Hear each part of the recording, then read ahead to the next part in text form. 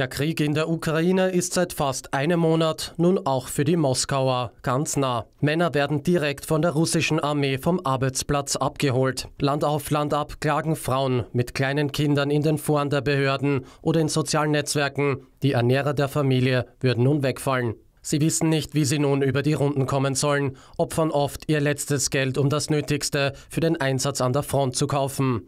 Schutzwesten etwa sind begehrt, aber kaum noch zu bekommen oder zu bezahlen. Frauen erzählen, dass sie vom Ersparten ihren Männern Rucksäcke, Medikamente, Thermounterwäsche und warme Socken kaufen. In oft geteilten Videos im Internet sieht man eine Gruppe von Männern. Ein Redner appelliert an die Behörden, etwas zu tun, damit Kredite nicht fällig gestellt werden. Ein andermal steht eine Gruppe an einem Zug der russischen Staatsbahn. Die Männer schimpfen, es gebe keine Marschverpflegung. Wieder eine andere Gruppe muss sich von einer Frau in Uniform anhören. Die Männer sollten Tampons mitnehmen, um damit Schusswunden zu versorgen.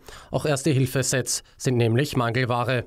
Die Reservisten klagen auch, es gebe teils nicht einmal einen Helm oder eine Waffe. Die Unruhe ist so groß, dass sich in Russland längst auch Gouverneure und Parlamentsabgeordnete wegen der Probleme bei der Mobilmachung einschalten. Entsetzt äußerte sich etwa der Duma-Abgeordnete Andrei Guruljow. Anderthalb Millionen Sätze persönlicher Ausrüstung seien verschwunden und niemand erkläre wieso, sagt er.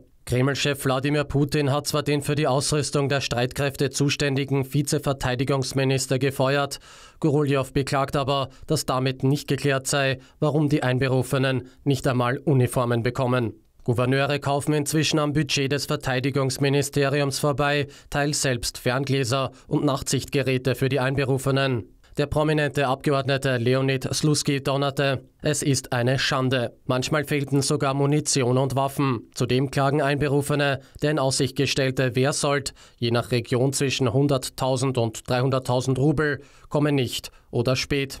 Während Hunderttausende auch außer Landes geflohen sind, fügen sich viele andere ihrem Schicksal. Es gibt Russen, die entschlossen für Putins Ziele kämpfen in der Ukraine, aber viele dienen nur, weil sie Flucht oder den Gang ins Gefängnis nicht für Alternativen halten. Immer wieder hat der ukrainische Präsident Volodymyr Zelensky die russischen Einberufenen aufgefordert, sich nicht als Kanonenfutter für Putin zu opfern. Sie sollten sich an der Front ergeben und freiwillig in Gefangenschaft gehen. In Russland lähmt indes die Angst viele, viele trauen sich kaum noch auf die Straße. Die in Russland vielerorts eingesetzte Videoüberwachung soll laut Behörden jetzt auch helfen, Kriegsdienstverweigerer zu finden. In der Hauptstadt Moskau fällt auf, dass die Straßen, Restaurants und Fitnessclubs leerer sind als vor der Teilmobilmachung, wie das öffentliche Leben insgesamt. Dabei mehren sich inzwischen auch Meldungen, dass viele Einberufene kaum an der Front ankamen und nun schon unter der Erde sind. Die ersten Rekruten kommen schon in Särgen heim. Auch nach fast acht Monaten Krieg macht Putin indes keine Anstalten, das schreckliche Blutvergießen zu beenden. Putin wurde zuletzt gefragt, ob er bedauere, die in Russland offiziell noch immer so bezeichnete Spezialoperation in der Ukraine begonnen zu haben. Aber Reue erwartete dann niemand von ihm. Was heute passiere, sei zwar wenig angenehm, wie er sagt, wäre aber später nur noch schlimmer gekommen. Also seien seine Handlungen richtig und angemessen.